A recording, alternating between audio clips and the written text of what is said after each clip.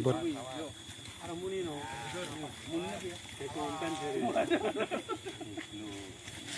Lek upama kene. Sini bagus. Pokoknya jarang.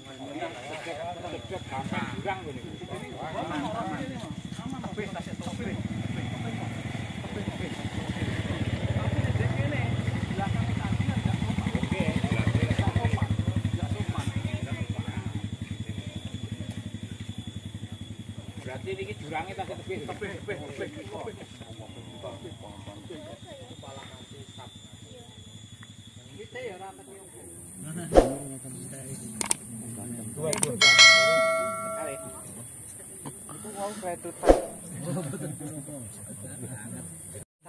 nggih. Nggih.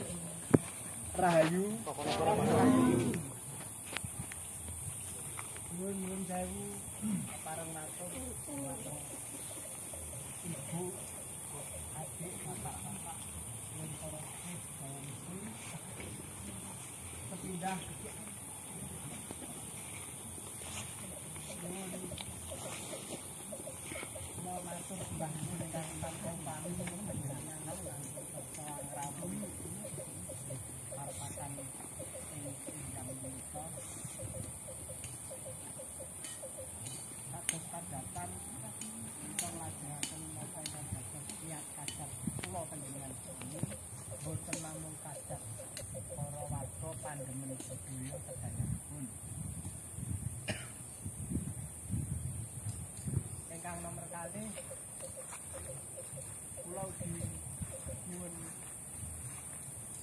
pangestu menika kalawau sampun pikantuk pun tadi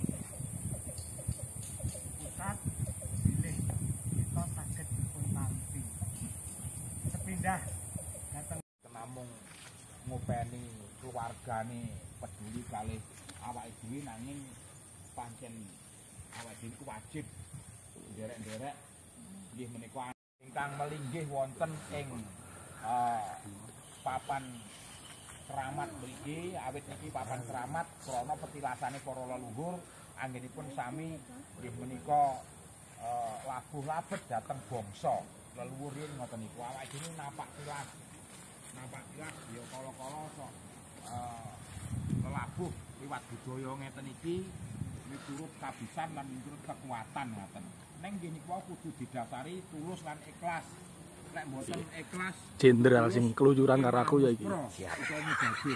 Ketemu lagi. Ketemu. Awake dhewe tahu tak kadali Kang Mas iki. Lah, bab budaya ngaten iku wau nggih tanpa sungguh-sungguh hubungannya kali agama ngaten nggih. Nggih, tanpa sungguh-sungguh hubungannya kali agama. Iki ajenge napa nggih ajenge nyelak dateng Gusti niku sepisan. Ya kudu resik lahir lan batine.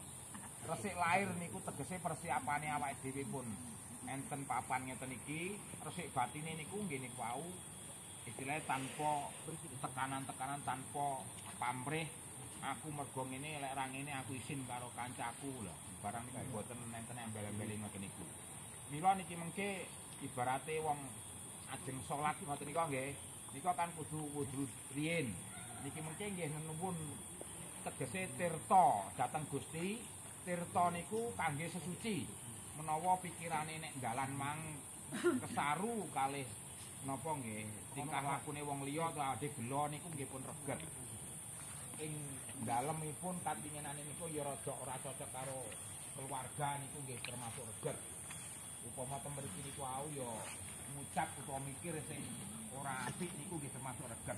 lah kamangka ada jenenge Nopo mendekat pada Sang Maha Pencipta nenuwun dhateng leluhur niku kudu resik lair lan batine. Mila nggih niki mengke budaya budayane wong Jawa niku ajenge meditasi nggih kudu resik liwat nggih niku wau toya utawa banyu biasa niku dipuja supaya duweni power, duweni kekuatan, duweni daya, doyo resik kangge kula panjenengan kangge papan beri ingatan nggih.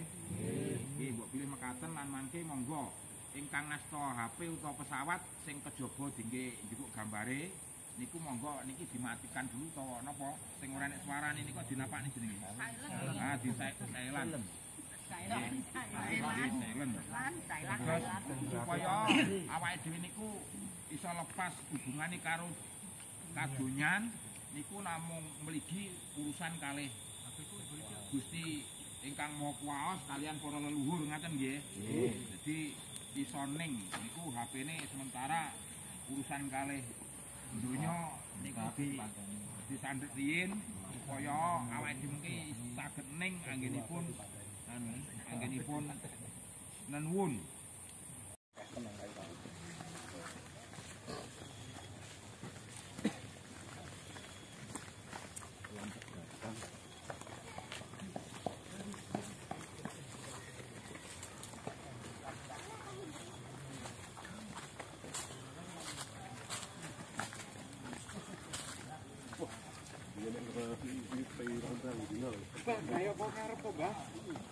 Đấy.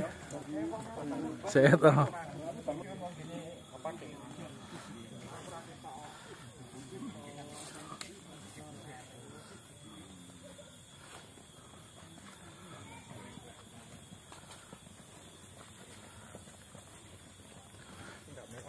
Hah? Kilo, kasih lah. Bukti kau mungkin kau pangkal.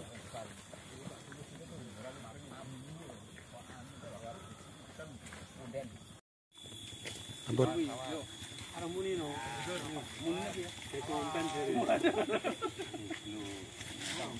upama kene.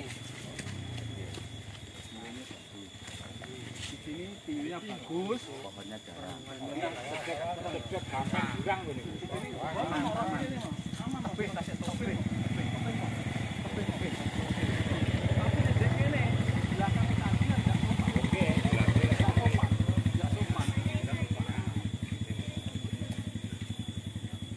Berarti ini jurangnya tak tebih. Tebih, tebih, tebih.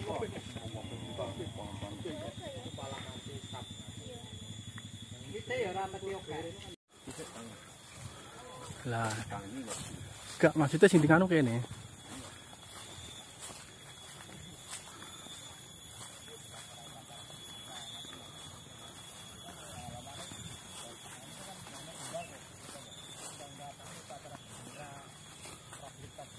Sip ya toh lek di sini jan bagus naluri saya di sini naluri saya iya toh tadi sebelum ketemu sopo ya semua tadi oh, oh saya sudah di sini naluri iya